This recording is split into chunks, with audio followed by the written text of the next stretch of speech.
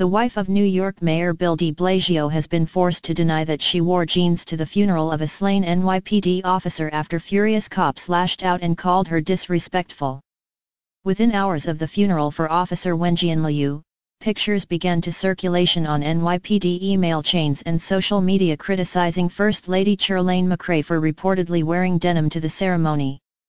One internet meme showed a picture of McCray in the outfit that read, Nothing says disrespect like rocking jeans to a cop's, sick, funeral.